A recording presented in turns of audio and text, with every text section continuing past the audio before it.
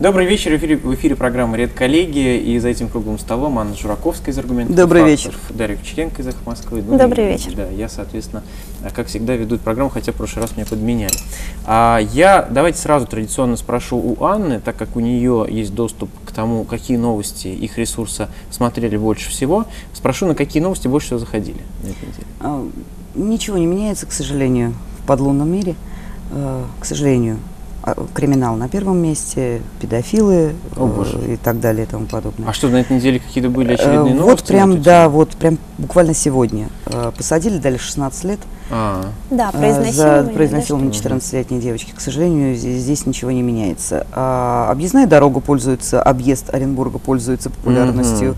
А, вообще дорожные новости э, последний месяц пользуются громадной популярностью. мгм. Удивительно было пару-тройку дней тому назад, когда мы э, выставили новость о том, что у нас будет э, рыбный, какие-то рыбные соревнования, рыболовные, да? Мгм. А, эта новость, э, э, это- эта новость заняла первую строчку, чему мы были несказанно рады. И удивлены, Сколько, э, наверное. Мы были сначала удивлены, а потом обрадовались. Ну, хотя бы не убийство, и не, а хотя бы вот рыболовные И то соревнования. ладно, А, Еще очень радостно, что у нас есть такой проект э, в- на сайте «АИФ ищет таланты». Проект фотогалерейный, то есть там Мгм. фотографии люди сами присылают, и поэтому вот это э, очень популярная вещь. И вообще мультимедийные материалы летом людей больше интересуют. Картинки. Люди хотят Во-первых, картинки. картинки, а, а во-вторых, рецепты лимонадов, квасов. Понятно. А, ну, я Дашу спрошу, что на этой неделе ее зацепило больше всего. Насколько я понимаю, Даша э, была на законодательном собрании Да, на этой вчера. неделе. А, ну, как впечатление? Чувствуется ли там дыхание приближающихся выборов или нет? Ох, какой сложный вопрос. Иногда мне хочется задать встречное дыхание приближающихся выборов. Что именно вы имеете в виду? Ну, вы уже начали э, соответствующие там фигуры больше о себе заявлять. Ну, я думаю, в этом вопросе да, потому что, в принципе, каждая фракция попыталась выдвинуть свой какой-то законопроект, свои поправки и отстоять их. Ну, например, ЛДПР, а, они выдвинули поправки к законопроекту об ограничении курения в общественных Мгм. местах. Ну да, Также- теперь, если что, если вы любите курить на остановках, а теперь не сможете, вы знаете, всё, кому это сказать спасибо. административное Смотрел внимательно на меня Максим А, Владимирович. я нет, я просто... мне тут- Машинально. Тут всего-то два человека, на кого мне еще смотреть. Также, Но- да, у них, они также предложили, и эта поправка была одобрена, ограничить продажу тонизирующих и слабоалкогольных продукций для лиц несовершеннолетнего возраста. И какой-то у них еще был такой законопроект. А, о том, что День родной школы становится региональным праздником. Ну, на мой взгляд, они такие Насчет легкие. алкогольных напитков вообще поразительная вещь. Запрещают Пожалуй, это обсуждается действительно. Да. И вот э, Дашу спросили, что э, она выделила бы, а меня-то спросили, что читали, Да. э, и не спросили, Что что, бы я выделила. так. Но на самом деле запрет алкоголя это уже принимает какие-то вообще э, гротескные, угрожающие, гротескные э, формы. Это просто катастрофа Ну да, какая-то. отметим, что и завтра запрещен, запрещена продажа алкоголя, и 27-го. 27 и 27 и так далее. То есть, как бы я понимаю, что люди в промежутках быстро затариваются, причем огромным количеством алкоголя. В газете Оренбуржье был вопрос на эту тему на этой неделе, и там один из э, ответов, он меня, конечно, просто поразил.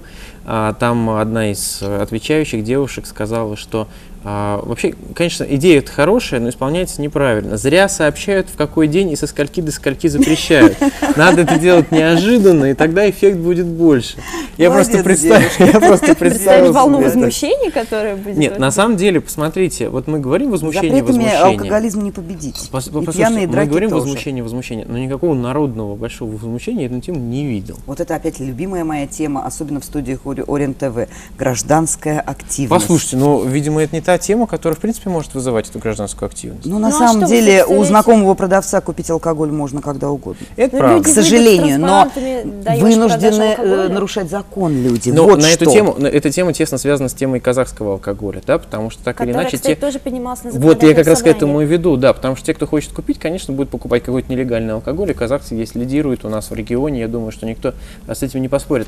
Что на эту тему говорили на Заксобе? Депутаты пожаловались, можно сказать, правительству о том, том, что казахстанский алкоголь можно купить фактически в любом там окошке э, в селах Оренбурга, вот, и в Оренбурге, на что губернатор области Юрий Берг сказал, что работа по э, предотвращению незаконной продажи такого алкоголя ведется круглосуточно. И каждый день к нему приходит начальник УВД и докладывает о том, какая была проделана работа, и якобы там уже есть успехи. А, ну, конкретно каких-то поправок по поводу этого Очень хорошая формулировка у Даши была. Депутаты пожаловались да, да, правительству. Да, да, да. Ну, формулировка На самом деле, э, мы же пресс-релизы получаем каждый день, да, и МВД э, тоже присылает пресс-релизы. Поэтому, когда я вижу в пресс-релизах 20 литров алкоголя задержали, мне становится уже даже не смешно. Если раньше хотя бы я там думаю, ну, наверное... Вы считаете, теперь, что масштаб не должна быть Безусловно, работы? если бы они задержали 2 тонны алкоголя или в 200 ларьках, в 200 окошках, там, я не знаю, в 50 хотя бы, вы знаете, я, я хочу сказать, что на самом деле вот этот самый нелегальный алкоголь, этот самый алкоголь разного качества, давайте скажем, что казахстанский бывает и качественный, и, бывает и некачественный, и это, наверное, вот так вот, если на скидку сказать, самый доступный, самый понятный и самый яркий э, символ вот этого самого таможенного союза для нашего города. Потому что ни в чем в другом мы такой большой разницы, да, жили мы до таможенного союза и после таможенного союза, так остро не почувствовали, вот так, широкие массы населения. А вот этот алкоголь, который сюда проник, и который убил несколько алкогольных сетей, да, в том числе, там, которые продавали качественный как раз алкоголь. Да, приличных там, алкогольных приличный, сетей. да, там, э, они просто были э, удалены с рынка, ну, потому что конкурировать с этим э, объемом из Казахстана невозможно. И вот э, как раз, э, наверное, когда говорят о таможенном союзе, и говорят о каких-то эфемерных успехах, наверное, не, не лишним будет добавлять, что благодаря ему, благодаря или... или из-за. Или из-за, ну для кого-то благодаря, кому-то кто-то же берет, кому-то же нравится. А ну, кто-то и нас, деньги зарабатывает. Да, да, да, да, я про это и говорю. У нас получается то, что получается. На самом деле, тема алкоголя, конечно, была не центральной на заседании законодательного собрания, и вообще поправки, которые предлагали ЛДПР, касающиеся вот этого здорового образа жизни, они проходили без обсуждения. В принципе, все их поддержали.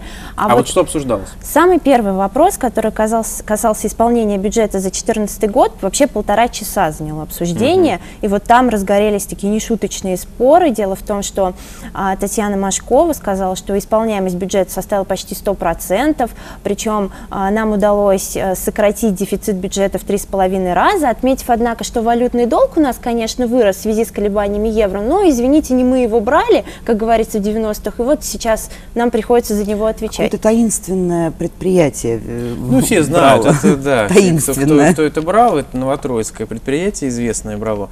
А дело ведь в другом, что действительно правительство здесь э, ничего не может сделать, потому что есть определенный график, есть обязательства. Даже не правительство брал, брали, не в правительстве брали кредит, а правительство выступало там по обязательствам. Гарантом, да, да, Насколько да. я понимаю, сейчас этот долг порядка 30 миллиардов, и там же есть какая-то определенная сумма, которая может, ну, определяет размер этого долга. И если он перевалит через эту сумму, а нам осталось чуть-чуть, ну, там как раз что 3, там 30 будет миллиардов это предельная сумма, а там, по-моему, 27, 28, да. вот какая-то Нет, кажется, даже 29. Угу. И что тогда? Это долг спишут или, или Не знаю, нет, я думаю, что, я думаю, что, конечно, там идет какая-то работа по списанию этого долга, насколько оно будет удачно, я Ну так вот, при обсуждении да. этого первого вопроса был интересный момент, когда депутат «Справедливой России» э, Владимир Фролов сказал о том, что вы знаете, вот вы говорите о тех социальных программах, которые вы провели, и деньги, основная часть бюджета была потрачена на эти программы, а ведь народу-то не нравится жить у нас в области, они считают, что и уровень жизни низкий, и то, как работает правительство, их не устраивает.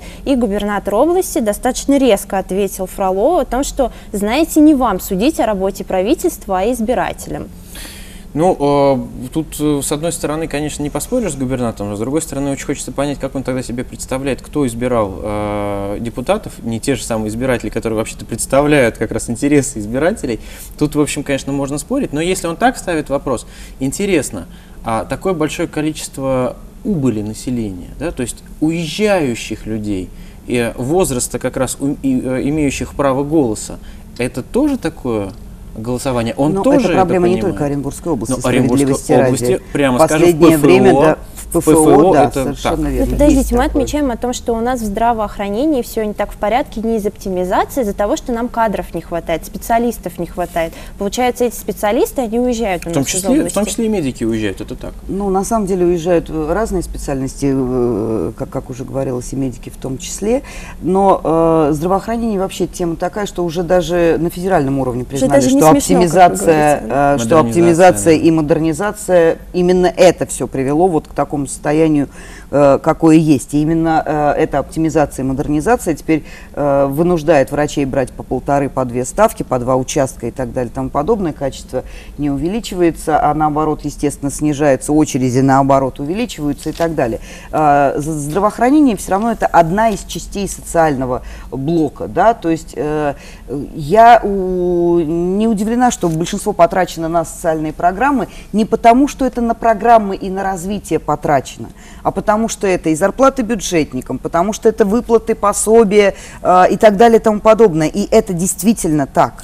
И Знаете, львиная меня- доля любого я бюджета. Понимаю, да, я понимаю, что для большинства наших зрителей, слушателей, читателей, а, в общем, для потребителей наших средств массовой информации, наверное, это звучит красиво, что большая часть бюджета тратится На на, медицину, там, на проекты, социальные да. проекты. Но на самом деле важно понимать, что это говорит о том, что мы просто проедаем то, что зарабатываем, и не развиваемся. Это говорит о том, что это мы не так хорошо живем, что можем себе это позволить. Это говорит о том, что мы настолько плохо живем, что мы можем только потратить на самое необходимое. И все. Сейчас мы прервемся на рекламу, а потом уже э, вернемся в студию.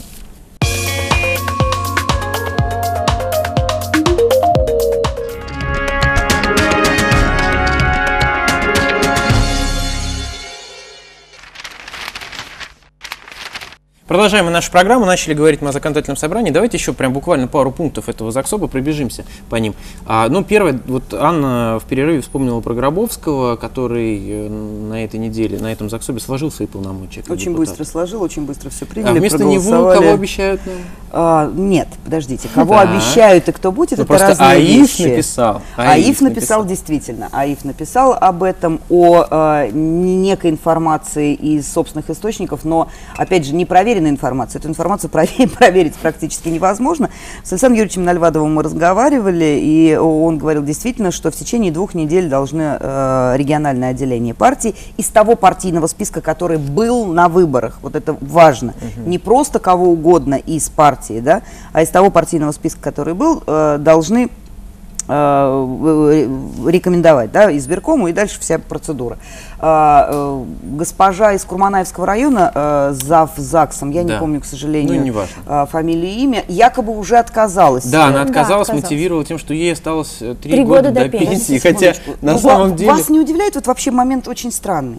И Гробовский только вчера Да. э, подал заявление, и за него проголосовали, а- Да. а, госпожа из Курманаевского Отказалась района уже. позавчера Да. все это сделала. Вот такая страна у нас, видишь, все все, все предчувствуют. Страна предчувствия такого. Интуиты. Интуиции. Более того, ее, ей интуиция говорит, тебе три года осталось работать. Я не понимаю, почему интуиция ей не скажет, что, а, будучи депутатом э, законодательного собрания, она не должна увольняться со своей работы. Ей никак не помешает это в ее работе. и Она может спокойно дорабатывать, но вот она почему-то вот э, решила отказаться от этого. А, честно говоря, я сейчас не готова, насколько ты прав насчет Я не тебе точно говорю, увольняться. То обрати есть внимание, что да? а, большая часть э, депутатов законодательного собрания работают, многие из них Нет, работают в государственных секундочку. органах. Вот, вот насчет государственных органов, Конечно. ну, наверное, да. Мне кажется, надо наверное. дождаться результатов того, что выберет партия, уже потом Ну, будет э, в общем, понятно, партия, партия, скорее всего, выберет господина Димова. а, По крайней мере, об этом Даша пишет не АИФ. хочет на интуицию полагаться, видишь? Ну, как? АИФ пишет, что будет Димов. И вот, в АИФ общем, пишет. Димова АИФ. спросили же об этом. Я уж не помню, какой сайт именно, но Уриндей. спросили. Уриндей, да? Да. Он сказал, ну, не будем торопиться. Но он сказал, что если партия все-таки выберет его, он, конечно, с радостью и с благодарностью примет их решение. Ну, в общем, что и требовалось доказать. В общем, здесь такой момент, э, об этом все месяцы уже говорят, даже больше. Ну Мгм. вот, наконец, все дошли до какого-то законного такого момента, открытого. Я не понимаю, зачем э, секрет Полишинеля Ну, знаете, устраивать. мне кажется, что тут, в общем, интриги нет, зайдет или не зайдет. Интересно, зайдет он на какую позицию. Потому что я напомню, что после того, как Сало, депутат Сало, против которого завели уголовное дело, Сложил а, полномочия себе заместителя полномочия председателя. заместителя, его никто не занял. Это место. И, в общем, там свободно место одного заместителя. А так как Димов, наверное, вряд ли захочет заходить просто депутатом, да, возможно, это место держит для него. Ну, в общем, все. Мы вам рассказали все, все вот эти вот э, кулуарные разговоры, которые Давайте закончим ходят. уже про Давайте про ЗАГСОП, тем более, что там должно, должен был решаться вопрос по рефер- э, референдуму. Все По депутатскому расследованию. по расследованию, да, а, Да, по это был бору. последний вопрос. Изначально он не был в повестке заседания, надо отметить, но, я так понимаю, оппозиция предложила вначале его рассмотреть и вроде как согласились. А, Там тоже возникли дискуссии, споры. Оппозиция говорила о том, что необходимо провести депутатское расследование. Напомним, там а, есть какие-то несостыковки с картой, схемы вот этого Безугловского бора о новых шести участках, которые вдруг появились неожиданно. Вот. И, в общем-то, если кратко, то вопрос отложили до проведения публичных слушаний. Когда будут эти публичные слушания Никто не депутатские, Вот никто эти все не моменты знает. постфактум вообще должны уже раздражать гражданскую активность. Ну-ка, Э, ну-ка. Ну, смотрите, э, о том, что э, бузулуки собираются разрабатывать нефть, сколько мы слышим, о том, что там законсервированные скважины, о том, что делаются попытки, это уже не два, не три и даже не пять лет. Ну, послушай, вот Еще так вот при. Александре Нет, Чернышове- а, Ань, я просто тебе напомню, что Хорошо, год по-настоящему два года. Нет, год назад, год назад, когда я впервые начал об этом говорить, у меня крути- все крутили у виска и говорили, да ты что? Да никто Такого сейчас не не, даст, быть. такого не может быть. Год назад, реально так было. А, хорошо, скажи мне, пожалуйста, когда торги объявили? Вот давай сейчас вспомним, когда объявили торги? Торги на объявили в конце 2014 года. В конце 2014 года. Да. А, в ноябре и в октябре 2014 года все газеты, все СМИ Ну пестрели да, естественно, этим. да, да, да, да. а да. почему тогда нельзя было провести депутатское расследование? Почему тогда не надо не, не- не ездили в Москву? Нет, так- Почему тогда не Тогда собирали? ездили в Москву, я напомню тебе. Тогда ЗАГСОП, э, кстати, показал, наверное, самую смелую свою позицию за все свое время. Единственное. Единственную, да, это действительно так. Нет, я, я бы не стал... И на этом ЗАГСОП. сложили крылышки и все. Ну, может быть. А сейчас очень красиво же можно э, оппозиции попиариться на том, что э, вот негодяи загубили бор и так далее и тому подобное.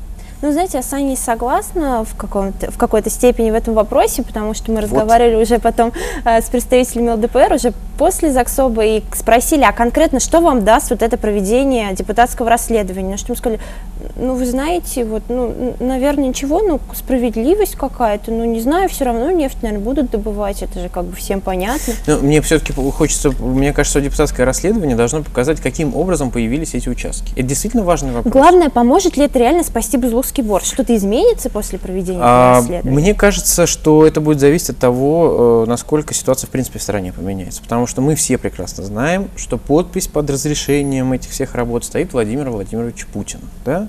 И э, это его решение. А более того, мы знаем, что его одно- однокурсник а, владеет, по, по большому счету, этим самым антипинским НПЗ или частью акций этого антипинского НПЗ, мы прекрасно понимаем, что это история про самый верх. Это история про то, как э, друзья а, Путина захотели заработать еще каких-то легких денег, и вот они эти легкие деньги Возможно. есть. Нет, это факт.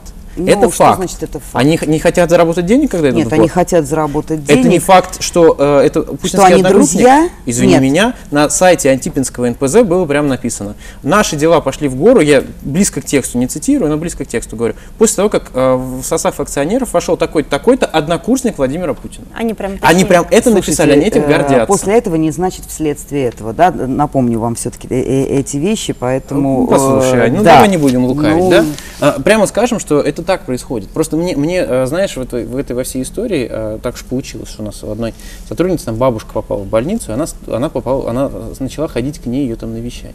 Она приходит оттуда с такими глазами, да, она так на все это смотрит, и она, она говорит, не понимает, стоп, а вот как? Туда же ведь какие-то деньги направляются, наверное, должны быть, да? А, и когда мы смотрим на то, как это все происходит, а параллельно идет обсуждение, э, обсуждение контракта Фабио Капелло, да, когда там просто миллионы. Ну вот это неприлично. Вот это здесь я абсолютно миллионы. согласна. Вот И это понимаешь, неприлично. опять же, а кто- Более того, я вчера вообще в шоковом состоянии была. Я, конечно, не такой футбольный болельщик, как ты, я скорее хоккейный. Но я была в шоковом состоянии, когда я у- у- прочитала вдруг, что э, футбольный союз вдруг поддержал Фа- Фабио Капелло. Ребят, Нет, О ты понимаешь, вы? ладно, де- ладно, футбольные дела, но там ведь есть дела денежные вокруг этого всего. У него действительно самый, один из самых больших контрактов в мире вообще, да. А эти а, деньги, мы прекрасно понимаем, что такое, да, они идут от бизнесов определенных людей. А, эти, эти люди умеют считать деньги, поверьте, они в другом месте найдут, где взять. И, скорее всего, они возьмут это где-то э, возле какого-то Поэтому места удивительно, что они никуда это тратят. Я А- правильно понимаю, если отставляют как бы капеллу, то ему должны выплатить невероятную компенсацию? Просто большую. невероятную компенсацию.